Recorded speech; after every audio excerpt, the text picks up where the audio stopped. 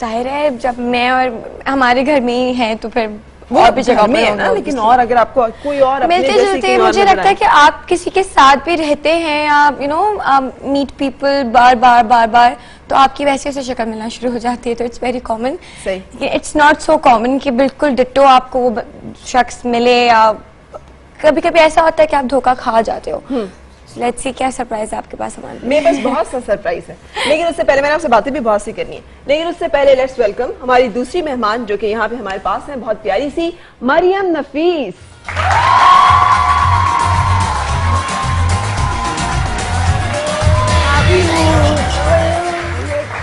मैंने तो सुना था कि मरियम जो है वो बहुत धान पान बहुत नाजुक स्लिम स्मार्ट है। बिल्कुल सही सुना था। कैसी हो मरियम? मैं ठीक हूँ how you I am good how's life life is great 2018 मौसम बहुत अच्छा है 2018 यस और बहुत सारी चीज़ें हैं टू लुक फॉरवर्ड टू आज भी बहुत सारी चीज़ें हैं। उसके लिए थोड़ा सा तैयार रहना पड़ेगा ऑन योर टोज ठीक है? लेकिन उससे पहले कि हम अपनी तीसरी मेहमान को यहाँ पे बुलाएँ मैं आप दोनों से दरखास्त करूँगी आप तशरीफ़ रखें यहाँ पे आइएगा बैठिएगा।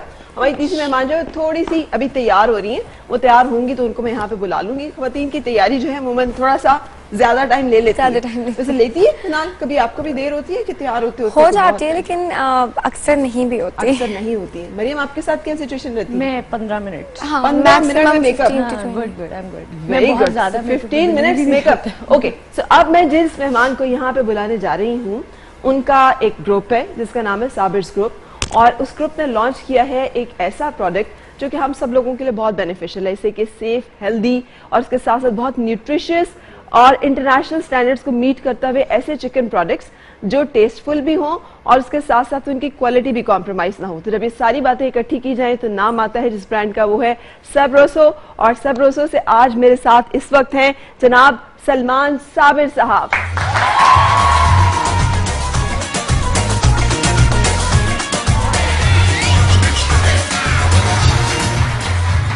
कैसे हैं सलमान साहब? अल्लाह का शुक्र आप सुनाए कैसे हैं? बिल्कुल सही अल्लाह का शुक्र। सो एग्जीक्यूटिव डायरेक्टर हैं जी, जी, आप ग्रुप के।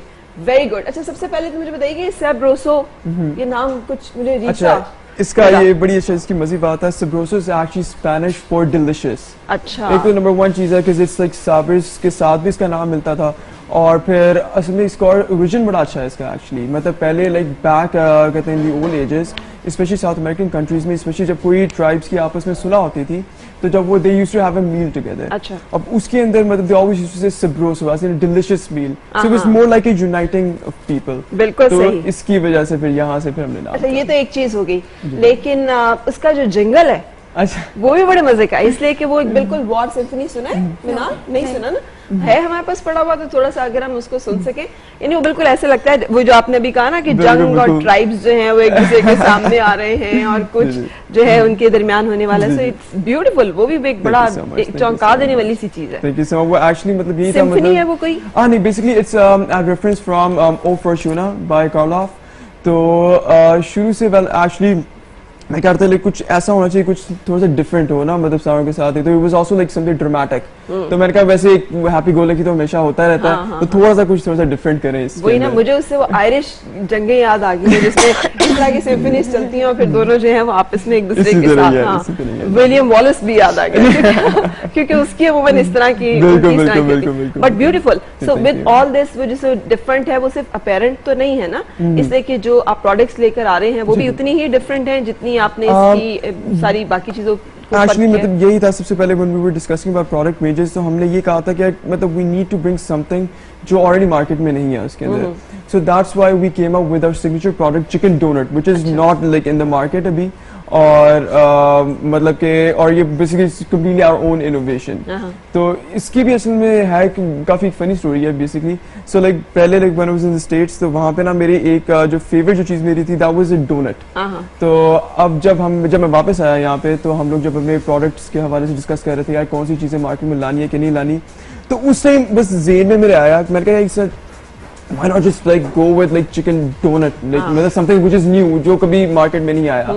तो just the idea of पहले कि कुछ something कोई मिठास उसमें हो तो वो थोड़ा सा स्ट्राइक करता है weird लेकिन लेकिन जब हमने फिर उसके ट्रायल्स करवाए तो वो काफ़ी अच्छा फिर हुआ। तो वो काफ़ी अच्छा उसका रिस्पॉन्स ठीक है। सो so, आपको भी वो डोनट एंड कॉफ़ी का जो कॉन्सेप्ट है ना कि वो गुड टू गो मील है पूरा। आप ले लें तो ये गुड टू गो Exactly, अच्छा लेकिन जो प्रोडक्ट्स हैं वो चिकन की हैं। जी जी बिल्कुल और बिल्कुल। आपको भी होती है बाज़ आती एंग्जाइटी जो बहुत सारे लोग बात करते हैं या मरियम आपको कि चिकन सेफ़ होना चाहिए हेल्दी होना चाहिए चिकन अच्छा नहीं है। चिकन की क्वालिटी बहुत सारे लोग कहते हैं नहीं खाना चाहिए। डॉक्टर्स या बहुत सारे इधर उधर लोग जो उन्होंने कैंपेन की हुई है तो एक्चुअली मतलब होता है ये आजकल काफ़ी सबसे ज़्यादा आपने सुना होगा लोग कहते हैं हार्मोन्स के हवाले से हाँ। आपने बहुत सुना होगा। कहते हैं कि यार मतलब आप चिकन ना खाएँ मतलब उसमें हार्मोन्स देते हैं वरना किस तरीके से इतना बड़ा होता है। एक्चुअली द फैक्ट इज़ ये जो हार्मोन्स का जो कॉन्सेप्ट है ना that is a total myth और मतलब there is no such thing as hormones in the poultry industry actually and the only reason कि ये जो मुर्गी इतनी जल्दी जो बड़ी होती है ना that is purely because of its genes अब मतलब ओवर द सेंचुरीज अब जो जो फार्मर से बल्कि एक्सपर्ट से उन्होंने क्या किया? उन्होंने ये जेनेटिकली ब्रीड ही इस तरह की बनाई है मतलब आपस में सिलेक्टिव ब्रीडिंग करके जो कि फास्ट ग्रोइंग बर्ड है। So basically it's all because of its genes के जो ये बड़ा होता है। और हार्मोन्स इज़ समथिंग मतलब which is which is not possible in the poultry industry. It's just like saying कि यार ये मतलब मतलब our chicken is caffeine free मतलब अब अक्सर लोग कहते हैं यार कि आप लोग अपने मतलब ये बॉक्स पे ये क्यों नहीं लिखवाते यार कहते हैं हॉर्मोन्स फ्री हाँ। मैं कहता हूँ जबकि एग्जिस्ट ही नहीं करती कोई चीज़ मतलब I am not even talking about myself I am talking about worldwide कि वर्ल्ड वाइड ये चीज़ यूज़ ही नहीं होती मतलब कि यानी चिकन में हॉर्मोन्स यूज़ ही नहीं होते। यूज़ ही नहीं होते। लाइक इसके अंदर तो बल्कि इसका सबसे मतलब एक इसकी वो चीज़ है कि आप अम, आप किसी भी मतलब लैब में ले जाए वहाँ पे उसका हार्मोन रेजिड्यू के लिए आप चेक भी कर सकते हैं। अच्छा। तो लाइक मतलब you won't find any residue अच्छा that's a great challenge exactly कि जो कोई भी इसको टेस्ट करना चाहे वो इसको इस तरह से कर एग्जैक्टली इट्स सकता एन है। ओपन अच्छा लेकिन बाजुकात ये भी तो बहुत सारे लोग कहते हैं ना कि अगर हार्मोन्स नहीं भी हैं तो उनको कुछ बीमारियों से बचाव के ऐसे टीके एंटीबायोटिक्स वगैरह दी होती हैं। जी, बिल्कुल, और वो मार्केट में आ जाती हैं। वो आपकी प्रोडक्ट्स की नहीं बात हो रही पैकेज प्रोडक्ट्स की नहीं बात हो रही अदरवाइज़ भी चिकन के साथ ही मसला जी, जी, बिल्कुल, कि वो अभी खाने के काबिल नहीं होता लेकिन वो अवेलेबल होता अच्छा मार्केट इसके अंदर ये होता है नॉर्मली अब अक्सर लोग कहते हैं कि यार के ये एंटीबायोटिक्स देते हैं ये भी। अच्छा ये दिस इज़ समथिंग अब मैं कहती हूँ एक, एक बच्चा अगर बच्चा बीमार होता है हाँ। तो आप उसको ट्रीट करने के कोर्स आप उसको दवाई देते हैं। तो कुछ लोग कहते हैं यार वैक्सीनेट मतलब करते हैं छोटा सा चूजा होता है उसको वैक्सीनेट कर रहे हैं उसको इंजेक्शन उसके ऊपर लगा रहे हैं। वो मतलब जब एक छोटा बच्चा भी पैदा होगा उसको भी आप वैक्सीनेट करेंगे ही हाँ। करेंगे तो ये अच्छा ये हमेशा तब देते हैं जब कोई डिज़ीज़ आती है वरना अदरवाइज़ तो मतलब ये पूरे शेड को इरेडिकेट करते हैं पूरी पूरी जो डिज़ीज़ होती है ना है। अच्छा और दूसरा इसमें यह जो एंटीबायोटिक्स है देर इज़ नो इसमें मीट क्वालिटी का कोई फ़र्क नहीं इसमें पड़ता। असल में इसका जो जो एक लॉ होता है फेडरल लॉ दैट इज़ कि एक विड्रॉल टाइम देना होता है इसके अंदर ना। सो विच इज़ लाइक मतलब around three two five days आपको पहले मतलब you have to like make sure कि इसमें मतलब एंटीबायोटिक उस टाइम आप यूज़ नहीं कर रहे। ठीक है। तो इस तरह तो मतलब दिस इज़ समथिंग मतलब विच इज़ मतलब ये स्टैंड आउट करता है इसके अंदर। अच्छा लेकिन आप लोगों का जैसे सर्वसो की जो प्रोडक्ट्स हैं क्या हम उसके बारे में कह सकते हैं कि आप इन सारे प्रोटोकॉल्स को इन सारे एसओपीस को फॉलो करते हैं? अच्छा। हमारा जो स्पेशली जो प्रोसेसिंग प्लांट है जो बल्कि यहाँ पे भी आ भी रहा था अब इसके अंदर we are HACCP certified we are FSC 22000 certified we are halal certified and हमने स्पेशली सारे जितने प्रोटोकॉल्स और स्टैंडर्ड्स यूज़ किए हैं वो स्पेशली पूरे इंटरनेशनल स्टैंडर्ड्स के मुताबिक हमने सारा अच्छा जिसका मतलब क्या होगा कि जो चिकन फाइनली हमें मिलेगा वो उसकी न्यूट्रिशियस वैल्यू तो चले प्रोटीन रिच है. ही लेकिन उसके साथ साथ वो हेल्दी भी है और सेफ़ भी है एग्जैक्टली क्योंकि असल में हमारा पीछे से जो फार्म के लेवल से ही हमारे एक्सपर्ट्स होते हैं जो पहले पूरे मतलब मॉनिटर करते हैं। फिर जब हमारा बर्ड जब प्लांट पे आता है तो वहाँ पे we have a team of experts who actually look at the bird उसमें एक इसको कहते हैं एंटीमॉर्टम इंस्पेक्शन ठीक है। कि वो आप देखते हैं कि अगर उस टाइम तो कोई मतलब इज़ देयर सिक बर्ड और डिज़ीज़ बर्ड तो नहीं है। ताकि उसी वक्त ही वहीं से वो उसको मतलब सेपरेट करते हैं ताकि जो भी चीज़ जाए वहाँ पे इट्स ऑलवेज हेल्दी अच्छा। और टेस्ट की बात कर लें जी, थोड़ी जी।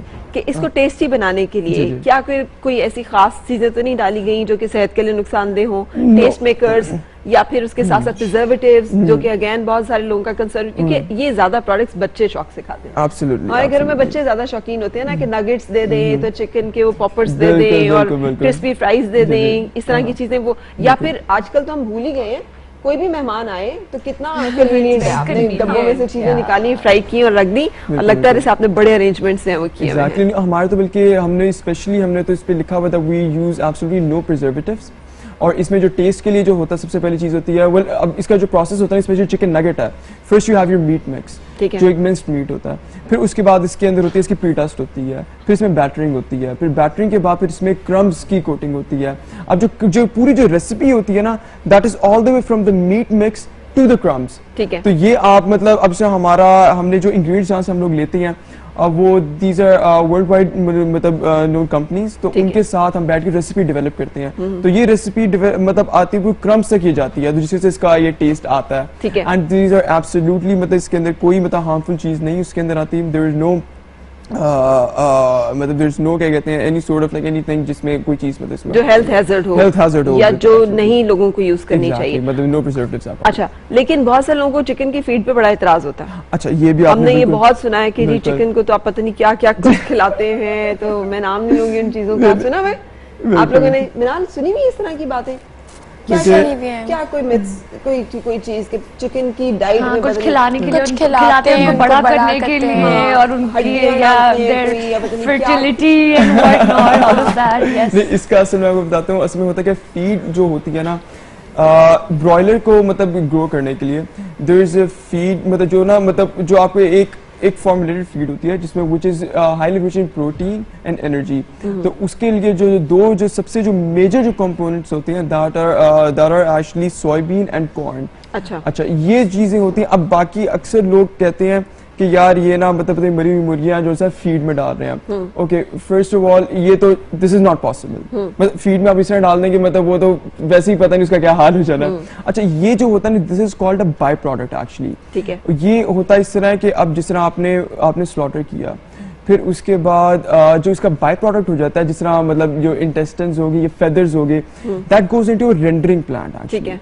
सो रेंडरिंग प्लांट क्या होता है? वहाँ से आपका ये मतलब it's cooked under high temperature and. Pressure ठीक है। अब उसमें क्या होगा ये इसका बिल्कुल पाउडर बन जाता है। जब पाउडर बनता है दैट इज़ मतलब प्योरली प्रोटीन ठीक है। जो आप दे रहे हो। That is the thing that is use in the feed ठीक है। तो इसके अंदर ये नहीं होता कि मतलब डायरेक्टली वो चीज़ में डाल रही हैं। अब इसी तरीके से होता है कि अब जैसे अगर आम अगर कोई परिंदा है मतलब इट नीड्स लाइक मतलब कि एक प्रोटीन रिक्वायरमेंट होती है उसकी। मैं कहता हूँ इस तरह अगर आम जिसको लाइक मतलब मतलब कह फ्री रेंज हो गया कोई भी हो गया जिसे हम इंसेक्ट्स भी खाते हैं कुछ this is actually rendering process ठीक है। अब इसी तरीके से अब जैसे अगर आप देख लें जेलेटिन है जिस तरह वो बनती है this is same process as well कि मतलब they used bones of the cattles और उसको मतलब पूरा ये बर्न करते हैं but they make a powder out of it and then they extract the gelatin यानी ये चीज़ें जो हैं ये सारे वो स्टैंडर्ड प्रोटोकॉल्स हैं जो सब चल रहे हैं। अच्छा बहुत सारी ऐसी हमने बाजू का बातें सुनी है कि पोल्ट्री की दुकान से वो अंतड़ियाँ भी गायब हो जाती हैं वो सारी चीज़ें लोग ले जाते हैं फिर हमें बताते हैं लोग। सुनी सुनाई बातें गॉड नोज़ अच्छा, कि वो पता नहीं लोग जो है ना प्रोडक्ट्स में डालते हैं और यूज़ करते हैं या उसका कुछ बनाते हैं। सुनिए ना ऐसी बातें कि नहीं सुनते हो। सुनते हैं अब आप दो डिफरेंट चीज़ें हैं एक जो। बाज़ार में चिकन मिली है दैट इज़ टोटली डिफरेंट और एक जो इनका प्रोडक्ट है दैट इज़ डिफरेंट अब वो मोर हाइजीन है जो इनका प्रोडक्ट है. और जो बाहर है वो हमें दिखता ही है जैसे पड़ा होता है. तो we can differentiate between them ना कि कौन सा अब हमें पता है कि बाहर वाला कैसा है और जो पूरा पैक्ड है वो कैसा है. अब उसके अंदर कैसा है वो ये बता रहे हैं.